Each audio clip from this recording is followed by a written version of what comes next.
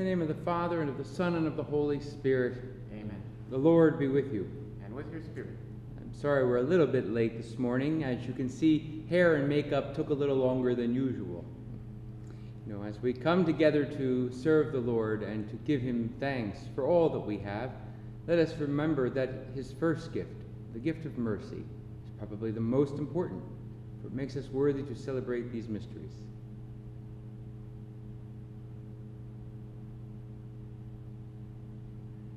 Lord Jesus, you've shown us the way to the Father. Lord, have mercy. Lord, have mercy.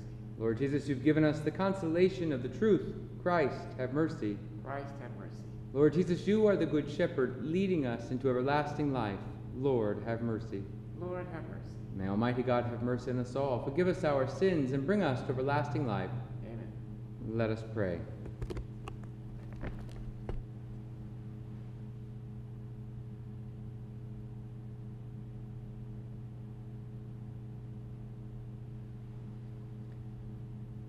O God, by whose wondrous grace we are enriched with every blessing, grant us so to pass from former ways to newness of life, that we may be made ready for the glory of the heavenly kingdom. Through our Lord Jesus Christ, your Son, who lives and reigns with you in the unity of the Holy Spirit, one God, for ever and ever.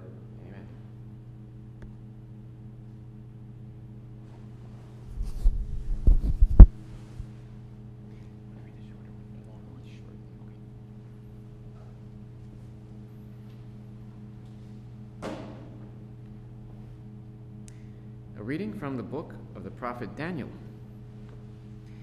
The assembly condemned Susanna to death, but Susanna cried aloud, O eternal God, you know what is hidden, and are aware of all things before they came come to be.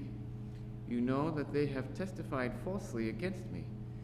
Here I am about to die, though I have done none of the things with, with which these wicked men have charged me. The Lord heard her prayer. As she was being led to execution, God stirred up the Holy Spirit of a young boy named Daniel, and he cried aloud, I will have no part in the death of this woman. All the people turned and asked him, What is this you are saying?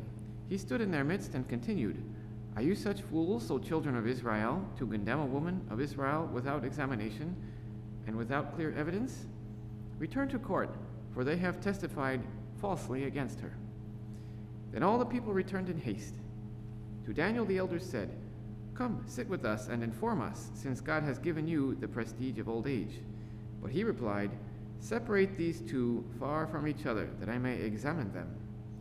After they were separated, one from the other, he called one of them and said, How you have grown evil with age!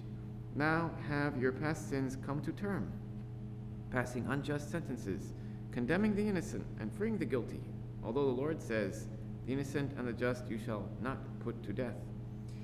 Now then, if you were a witness, tell me under what tree you saw them together. Under a mastic tree, he answered. Daniel replied, Your fine lie has cost you your head, for the angel of God shall receive the sentence from him and split you in two. Putting him to one side, he ordered the other one to be brought. Daniel said to him, Offspring of Canaan, not of Judah, beauty has seduced you, lust has subverted your conscience.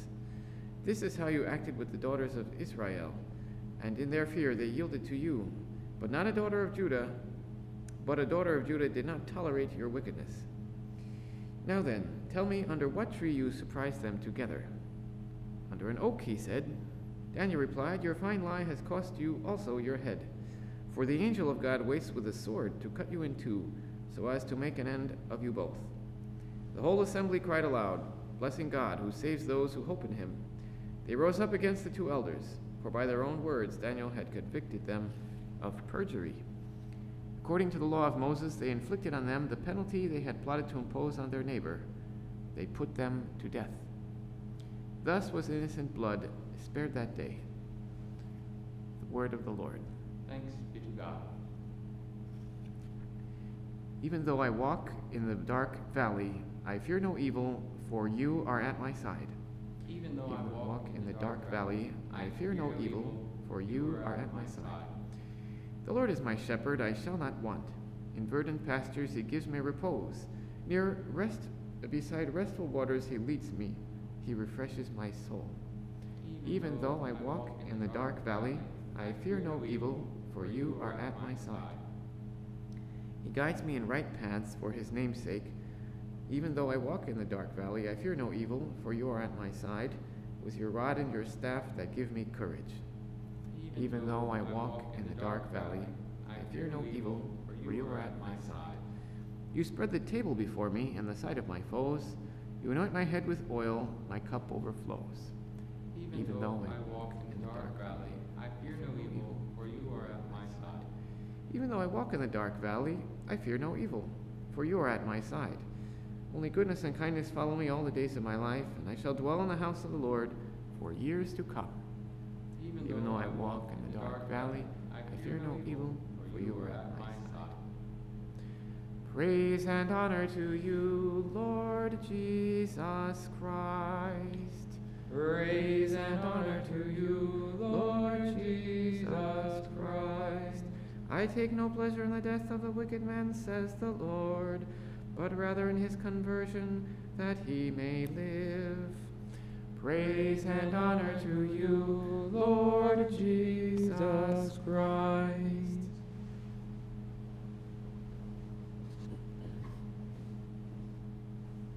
The Lord be with you. And with your spirit. A reading from the Holy Gospel according to John. Glory to you, Lord. As Jesus went to the Mount of Olives,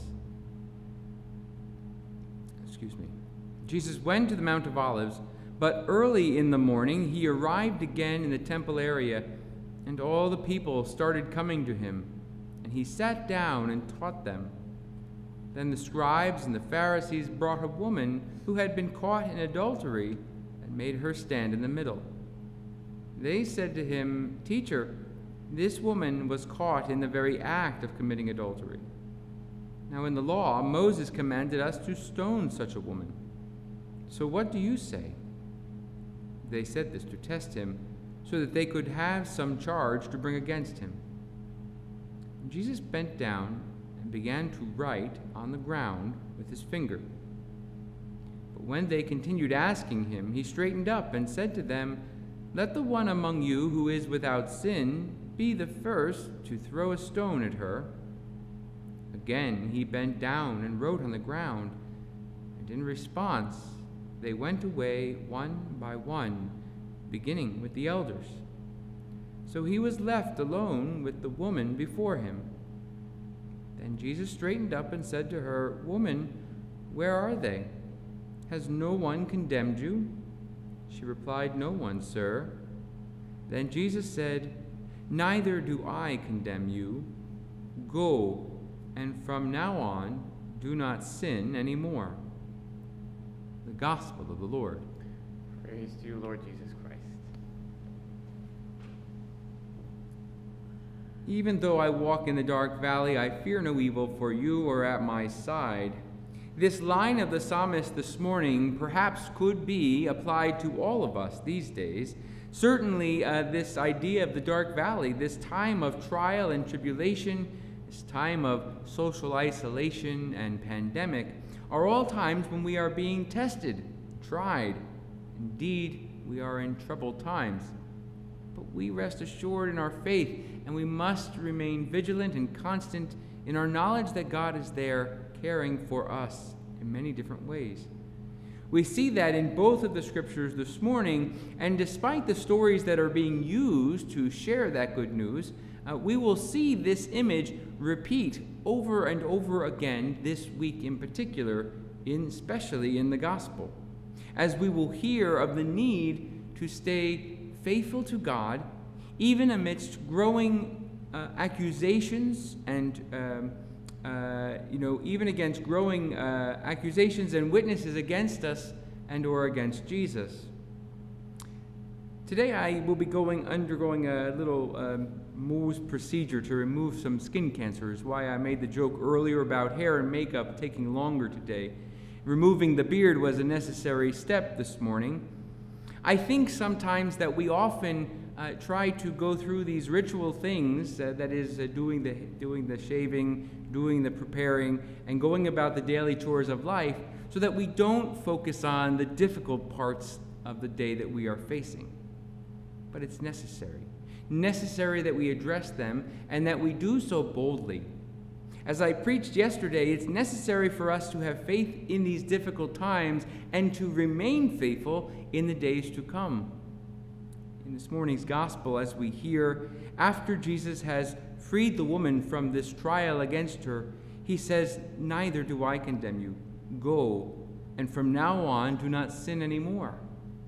He intends that she will do her best not to sin but certainly in this moment, what he has given her is his mercy, his love.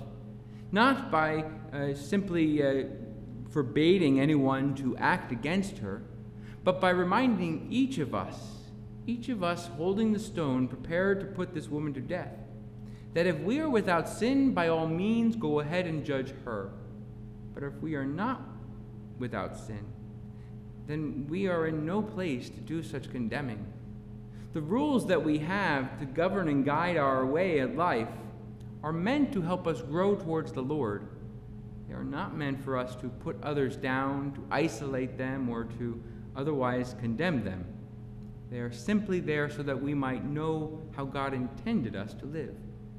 And when we fail to do that, the proper thing is not to abandon the person, but to give them the ability to rebuild, to be restored, to be be reconciled to God and to us, so that we might have hope of moving forward together.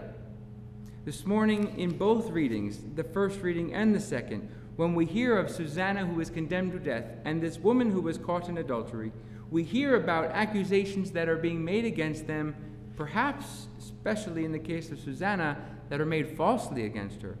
And who knows the, the legitimacy of the accusations made against this particular woman facing Jesus? For we know their intent was really to find reason to condemn Jesus, not to put this woman to death. We must go through each of these days listening to the accusations made against Jesus. He, like the women, remained faithful to God. When he is put to death next week, his faithfulness is repaid in the resurrection our faithfulness will be repaid not only in the love and mercy God gives us in this world, but the love He provides forever in the next.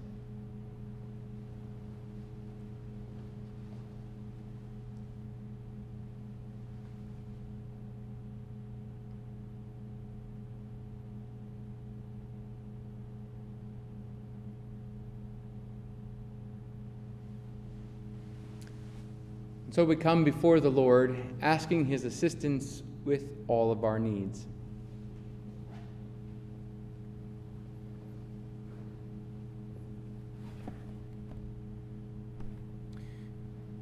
For Pope Francis and all clergy and all members of the Church of God, that um, we may show mercy to those in need, we pray to the Lord.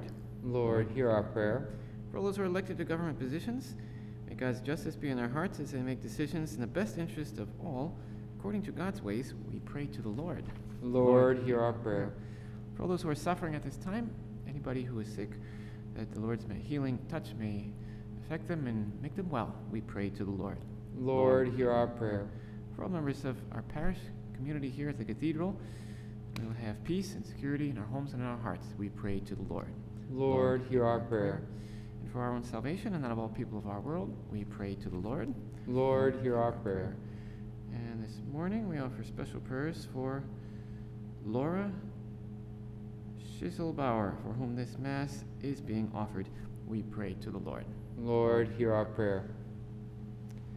Heavenly Father, you are so good to us. You provide for all of our needs in all times. We ask you to hear the prayers we have spoken aloud, as well as those in the silence of our hearts that we may have the answer to our prayer according to your will through Christ our Lord.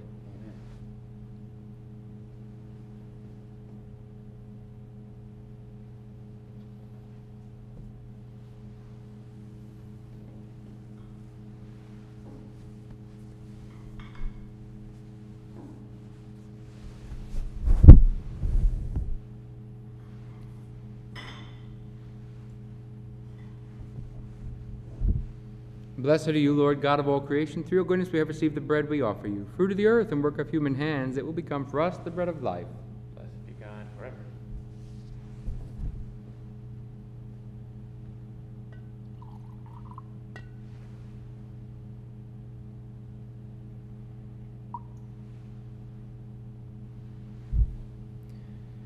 Blessed are you, Lord God of all creation. Through your goodness we have received the wine we offer you, fruit of the vine and work of human hands. It will become for us our spiritual drink.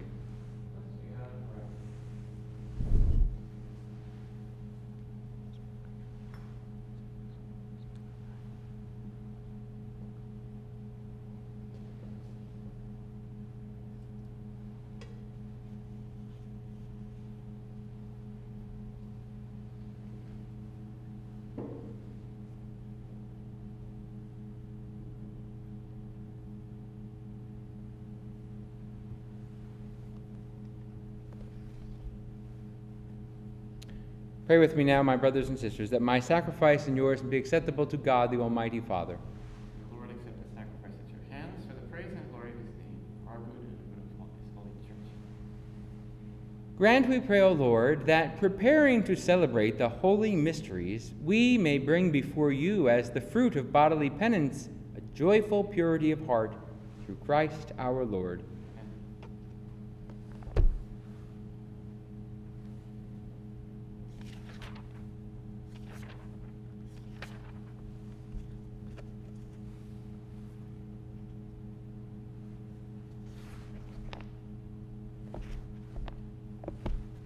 Lord be with you. And with your spirit. Lift up your hearts. We lift them up to the Lord. Let us give thanks to the Lord our God. Right and just. It is truly right and just, our duty and our salvation, always and everywhere to give you thanks, Lord, Holy Father, Almighty and eternal God. For through the saving passion of your Son, the whole world has received a heart to confess the infinite power of your majesty, since by the wondrous power of the cross, your judgment on the world is now revealed and the authority of Christ crucified. And so, Lord, with all the angels and saints, we too give you thanks, as in exultation we exclaim, Holy, holy, holy, Lord God of hosts, heaven and earth are full of your glory. Hosanna in the highest. Blessed is he who comes in the name of the Lord. Hosanna in the highest. You, therefore, Almighty Father, we bless through Jesus Christ, your Son, who comes in your name. He himself is the word that brings salvation, the hand you extend to sinners, the way by which your peace is offered to us. When we ourselves had turned away from you on account of our sins, you brought us back to be reconciled the Lord, so that converted at last to you, we might love one another through your Son, whom for our sake you handed over to death. And now, celebrating the reconciliation Christ has brought us, we entreat you to sanctify these gifts by the outpouring of your Spirit, that they may become the body and blood of your Son, whose command we fulfill when we celebrate these mysteries. For when about to give his life as to set us free, as he reclined at supper, he himself took bread into his hands, and giving you thanks, he said the blessing. He broke the bread and gave it to his disciples, saying, Take this, all of you, and eat of it, for this is my body, which will be given up for you.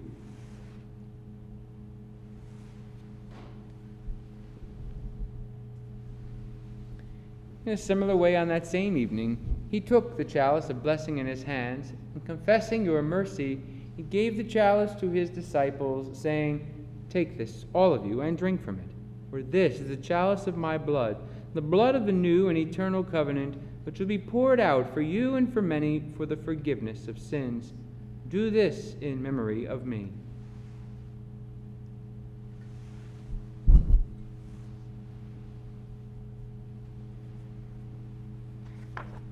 The mystery of faith. Save us, Savior of the world, for by your cross and resurrection you have set us free. Celebrating, therefore, the memorial of the death and resurrection of your Son, who left us this pledge of his love, we offer you what you have bestowed upon us, the sacrifice of perfect reconciliation. Holy Father, we humbly beseech you to accept us also together with your Son, and in this saving banquet graciously to endow us with his very Spirit, takes away everything that estranges us from one another. May he make your church a sign of unity and an instrument of your peace among all people. And may he keep us in communion with Francis our Pope and Joseph our Bishop and all the bishops and your entire people. Just as you have gathered us now at the table of your Son, so also bring us together with the glorious Virgin Mary, Mother of God, with blessed Joseph her spouse, with your blessed apostles and all the saints, our brothers and sisters and those of every race and tongue who have died in your friendship. Bring us to share with them the unending banquet of unity in a new heaven and a new earth, where the fullness of your peace will shine forth in Christ Jesus our Lord.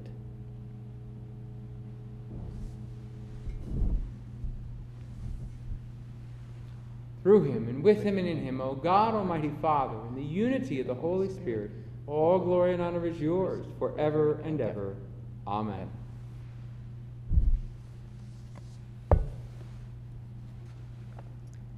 Now, at the Savior's command, informed by his divine teaching, we dare to say, Our Father, who art in heaven, hallowed be thy name.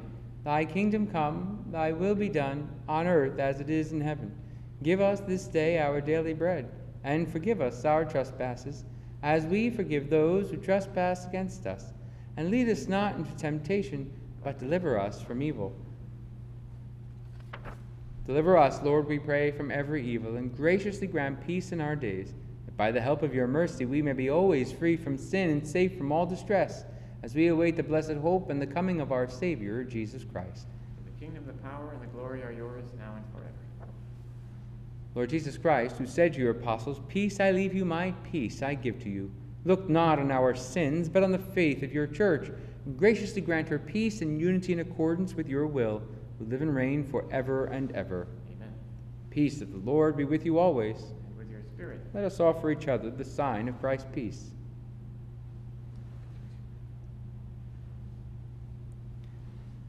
Lamb of God, you take away the sins of the world. Have mercy on us. Lamb of God, you take away the sins of the world. Have mercy on us. Lamb of God, you take away the sins of the world. Grant us peace.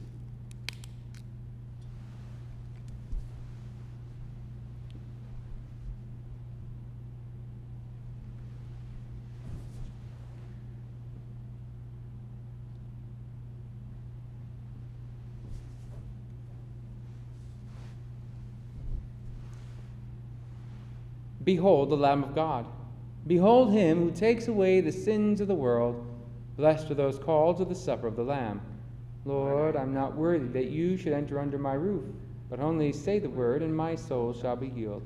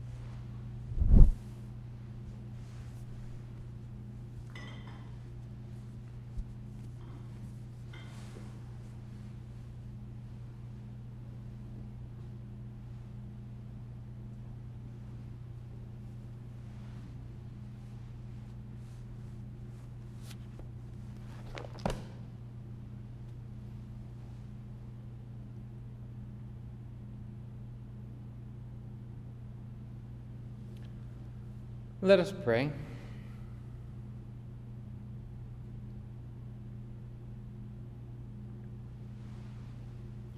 Strengthened by the blessing of your sacrament, we pray, O Lord, that through them we may constantly be cleansed of our faults, and by following Christ, hasten our steps upward toward you. Through Christ our Lord. Amen. Uh, perhaps you realize I'm a little bit distracted this morning. I'm not exactly certain I followed through on any of the points I made this morning. But what is important is that we are always consistent in our faith in Christ, who indeed will free us from all of our, uh, all of our struggles. The Lord be with you. And with your spirit. Bow down and pray for God's blessing. Set free from their sins, O Lord, we pray, the people who call upon you, that living a holy way of life, they may be kept safe from every trial through Christ our Lord. May the blessing of Almighty God, the Father, the Son, and the Holy Spirit come down upon you and remain with you forever. Go in the peace of Christ.